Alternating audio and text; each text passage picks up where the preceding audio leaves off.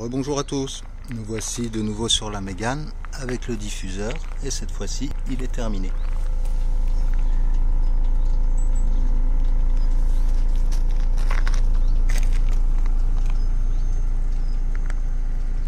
Donc le choix de la couleur c'était pour contraster un peu plus avec la couleur d'origine puisqu'au départ le diffuseur était gris alu quasiment comme la carrosserie, légèrement plus foncé mais pas beaucoup.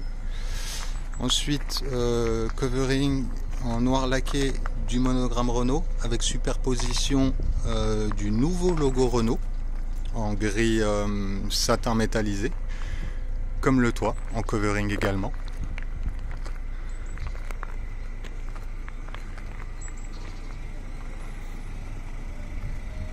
Ensuite, les coques de rétroviseur avec cette même teinte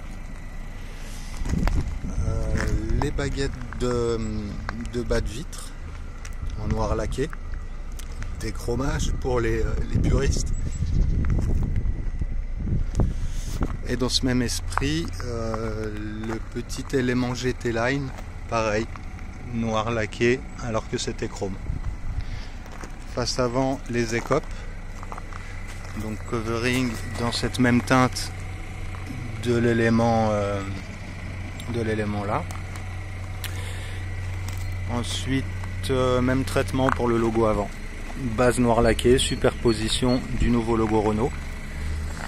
Covering noir laqué de cette petite baguette chromée. Alors par contre celle-ci j'ai pas pu les faire. Euh, trop technique, ça aurait demandé trop de temps, trop d'argent. Et puis je crois que nous avons fait le tour.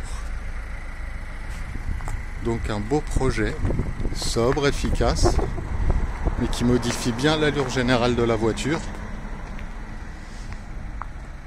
qui lui donne un petit côté un peu plus agressif.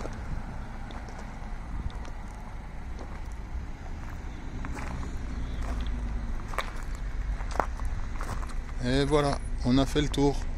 A bientôt pour une prochaine vidéo. N'oubliez pas de vous abonner. Ciao